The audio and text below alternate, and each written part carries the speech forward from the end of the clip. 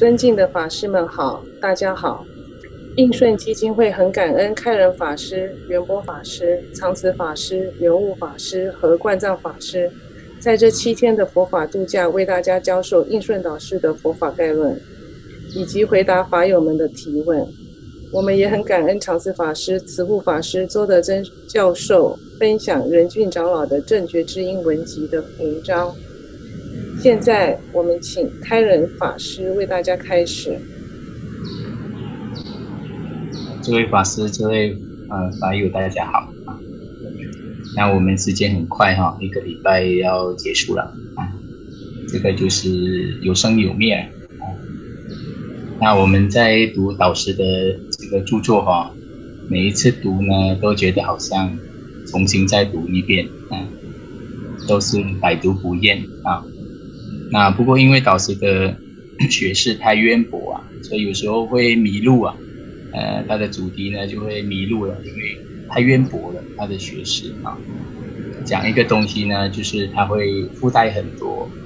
啊比较了哈，或者是一些引证啊，所以我们有时候就会往往很容易就会迷路啊，所以多读几遍呢，你会把这一些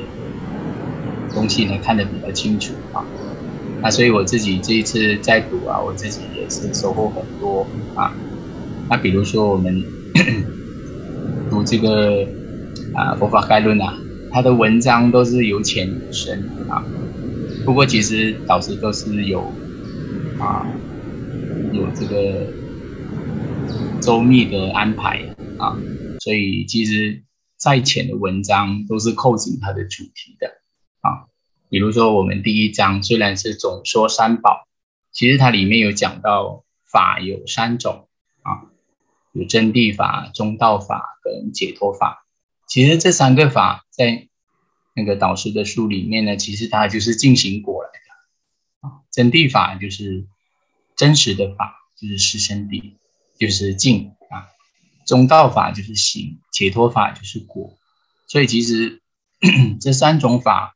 也可以啊呼应这个虚名长老的这个全书的科判啊。所以其实他。用很多善巧，呃，看怎么来汇通全书的内容，都是可以的啊。那其次呢，就是比如说我们在嗯谈友情身心啊，谈啊友情世间，或者是气世间啊，或者是啊杂染的缘起、清净的缘起，那这些都是属于缘起之性。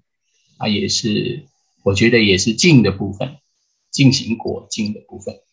那生道之性其实就是行嘛，啊，就是中道法。那最后就是正德圣道，那就是解脱果。所以其实导师的书啊，每一次读呢，自己都会啊，觉得好像这个也可以通，那个也可以通啊。虽然没有人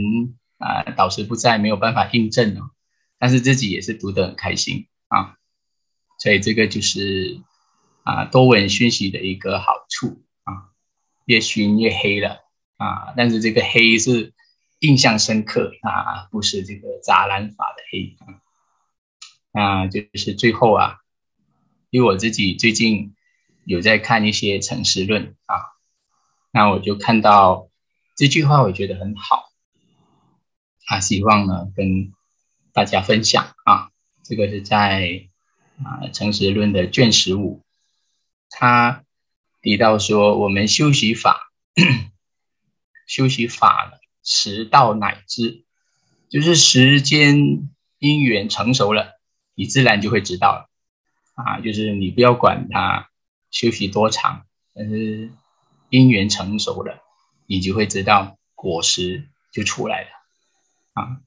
也不用期待，也不用，呃，不急啊。那这个就是一切都是呃因缘具足的问题。所以他就说了一个寄送，这个寄送呢写的非常的浅白，而且非常的好。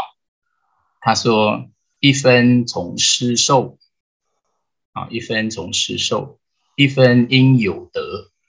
因为道有啊，同参道有而能够获得。一分自思维啊，自己思维；一分待时手啊，一分呢是等待时间因缘成熟。所以我觉得他这个寄送真的是非常好啊，就好像导师的一段法语说：“我们就是等待时间因缘呐啊，不管我们修啊解脱到菩萨道，都是总熟脱的问题啊。所以，我们从师长啊的这种文字或者是开示学习，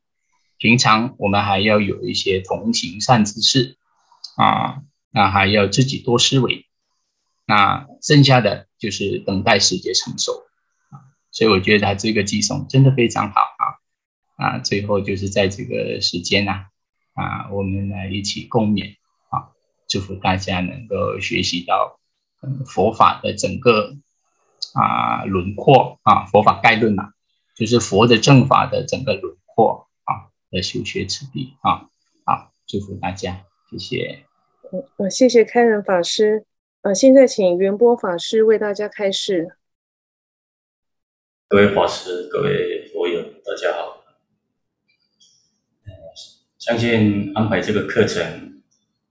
可能有些法友，呃，一开始对导师的著作可能会一开始有一些害怕啊，因为我们知道导师的书既深又广，啊，透过。几天的课程的授课，也有大家的研讨，我相信对初学者一定会有一些比较正确而且广泛的啊对佛法的知见。那对于应该也有一些久学者啊，诶，这次课程怎么开佛法概论？怎么是纲要的呢？那我已经读过了，我甚至读到黑皮书了哈。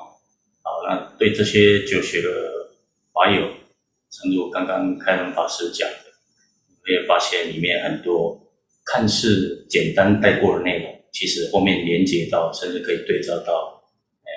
原始佛教圣典之集成的一些相关内容啊啊，而且这个在佛法的发展上，透过几句话，然后再去对照，哎，圣典之集成这些书。也会得到更深刻的这个理解，所以有学者在重读，哎，除了可以读得更深刻，然后也有这个啊巩固自信的效果。那另外一点就是，虽然我们是网络课程啊，啊少了实体课程很多的麻烦工作啊，但是我们的。这个基金会相关的工作人员啊，还是这个日夜帮忙联系，做种种的安排啊，在这边也相当感谢他们的辛劳。啊，最后一点，我们透过这个集体的研讨啊，相相对可以减少大家学习的一些障碍啊，来祝福大家这个。早日入佛之见啊，得佛法身好，谢谢大家。呃，谢谢元波法师。现在请长子法师为大家开示。呃，诸位法师、诸位法友，大家好。呃，非常感恩。呃，这一次呢，有这么多法师在这么炎热的夏天，然后。能够播出这个空堂的时间，来为大家一起来研习佛法概论哦。那特别我们知道，我们的开仁老师、开仁法师他很忙，他是我们这个福福福音教师团里面的红牌啊哦，红牌就是大家都抢着要那一种，所以他很忙。然后要很久很久才能够约得到哦，那他也很慈悲，他说这个这个导师基金会的这个活动，那他都一定排除万难来共共同参与。呃，还有元宝法师，其实他也很，因为我们现在是暑假嘛，暑假学员没有上，但是他们常驻还是会有一些事情啊。首先，我们三位啊，我们三位在那学院就没有课就没课了啊，那就不像两位法师在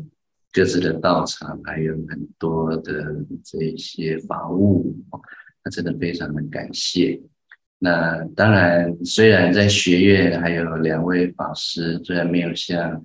两位法师或是开法师那么忙，但是呢，我们这个观藏法师他其实平常很静的哦，他都是深入思维空义，然后能够愿意这样播出时间，这个离开这样的一个深入的空义来为大家来讲解，那我们也很感动啊。哦，我们都一直担心，他觉得这个会干扰他。后来都是多余的，因为读导师的著作啊，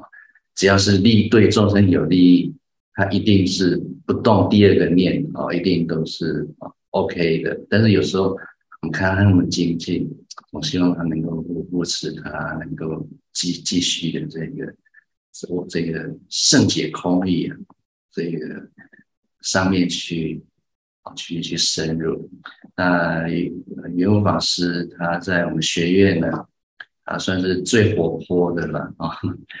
在我们学院有个外号叫譬喻师啊，他很会讲譬喻啊，所以也很感谢他这一次让这么深奥的课程呢啊，通过他活泼的一个解解说，这是这是真的收获非常的多。我如果有空，一定去跟每个老师的课程。他从每个老师他的一个讲解，诶，他会用那些我们平常不太会想得到的方式，角度啊等等之类，都都让我们有很大的一种收获跟发现，还有一种内心的触动啊！原来佛法可以这样解释，太好，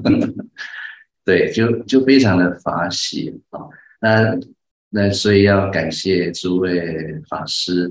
能够一起共同促成这一个讲座的一个课程的一个授课部分，那这个课程要能够完成，还有很多这个其他幕后的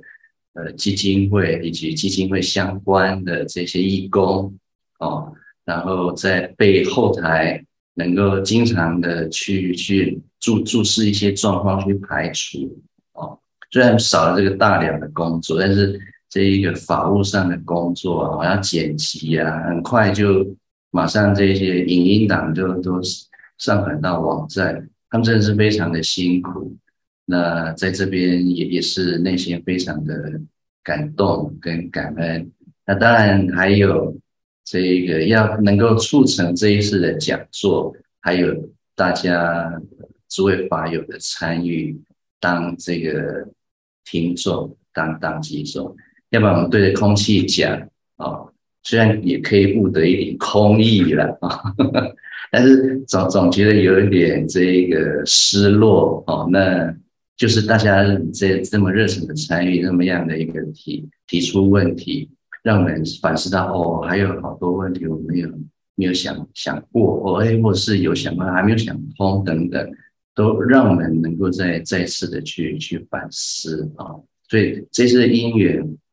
感感觉自自己收获非常的多哦，然后也内内心充满着这一种感感动跟感恩。那虽虽然都没有讲到课堂上的东西，但最最后了，但都是想感恩的话。最后就是呃，透过这几天的研习啊，那大家我嗯也发现大家对这个生活应用这一个面向。非非常的这一个呃提提提出很多的这样的一个问题啊，那其实这些问题呢，相信大家在去深入去了解这些道理之后，大家能够去领悟到，哎，这遇到这些问题，这导师这一句话可以启发我们怎么样去去化解这些烦恼，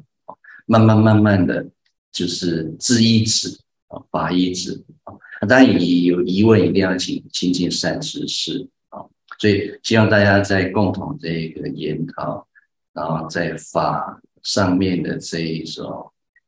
更深入的一个那个了解、领悟，然后大家在这样的一个因缘之下彼此增长，那最后呢，祝福大家在这个三学能够增上，不会能够增长。谢谢。嗯，谢谢长慈法师。呃，现在请圆悟法师为大家开始。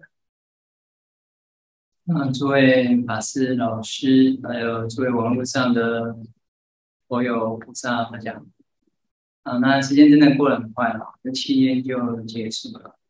那刚听了诸位老师的一些啊开示或者啊分享，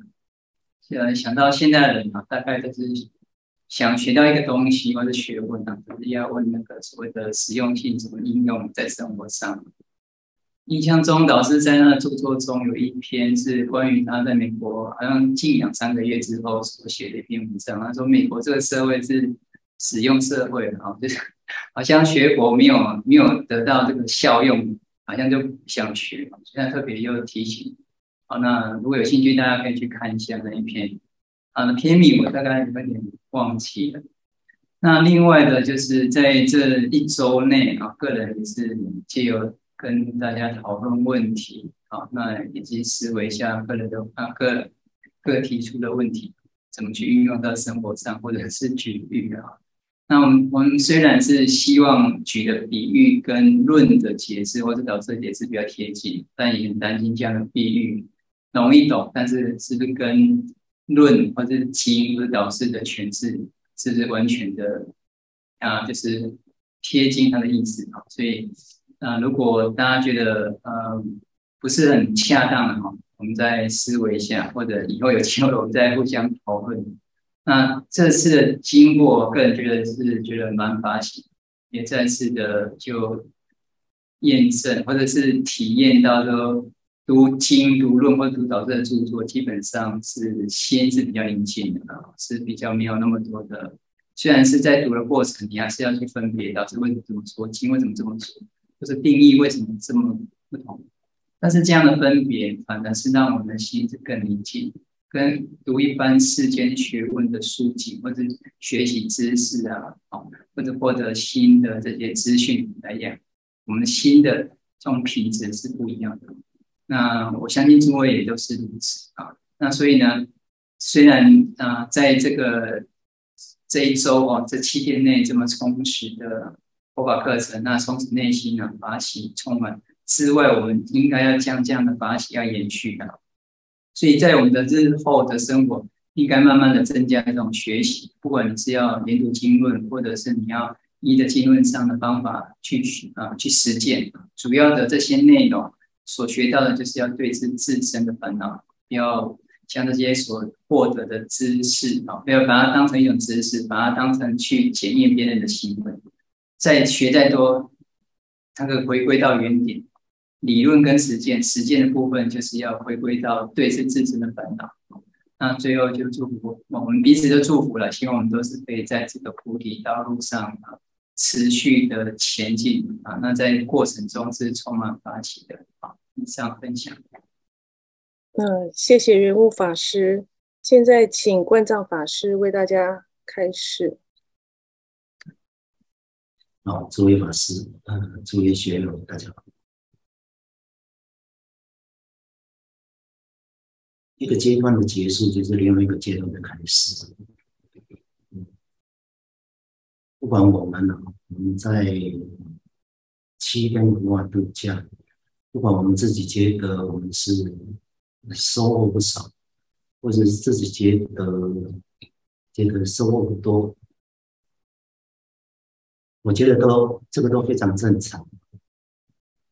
觉得哎自己觉得收获多哦，自己恭喜自己了，不用等别人的恭喜啊。自己觉得收获很多，自己恭喜自己，但是不要得手为主。我们觉得说多正好，一者说多就表示我们现在的的那个能力比较强啊，正好啊正好正好哎，在新的阶段正好利用我们这个这个能力强的这一部分呢。正好在文思、文史解析，那时候我们就会更进一步、更进一步了解我们以前所了解的，会以前所了解就指的那个，我们现在在文思嘛，所以最基本的就是依着眼文字，哎，会看同样的眼文字会看到更深刻。所以不要得手为主，我们要公呃对自己感到欢喜，而且可以给自己奖励，但是不要得手为主。至于觉得说我我好像收获不大，我说这个非常正常。我自己也常常要在七天当中要收获大，我我自己常常啊有时候会会会好好会受很很多很多的一些打击，尤其在这七天当中，我们所闻思的佛法是非常非常的。不容易的哈，所以我们觉得我们自己好像没有什么收获，呃，非常非常正常。我自己实际上都是这样子的，所以我们其实我们佛法最主要、最主要就是重视什么？欣喜，一次一次一次的欣喜的哈。所以这样的话，自然自然的话，我们就会一次一次的进步。所以，所以在这个接下来新的开始、新的开始的。的这个阶段呢，我们一样哦，就是还是一次一次的文字，终究终究我们会从呢，啊，嗯，好像还在爬，终究终究不会永远在爬，我们终究终究啊，慢慢慢慢的在爬的过程当中又跌倒，又跌倒过程当中又爬，渐渐渐渐的过程当中，我们就会走，会站起来，而且啊，刚才。诸位法师也说到了，就是我们在行过程当中，我们会在爬的过程当中，就像婴儿在爬的过程当中，他也是非常欢喜。他他跌倒，他也是跌倒的很欢喜，是吧？他尤其会有旁边啊，有有父母亲在在在呵护着，那就就是三宝了。三宝在呵护着我们，或者三知识，或者同三道都在呵护着。所以所以众人觉得哈，好像不太满意，但是哦，这个都是一个阶段一个阶段，或是都是先行的。呃，所以，所以不管是觉得自己觉得自己哎满意或者不满意的，嗯，都是一样。在新的阶段开始，都让我们呢，包括我自己呢，在新的阶段我们开始好好的，呃，一步一步的向前啊，意思。呃，谢谢冠藏法师的开示。嗯，二零二二年应顺基金会佛法度假圆满结束。再次感谢师傅们，感谢大家的参与。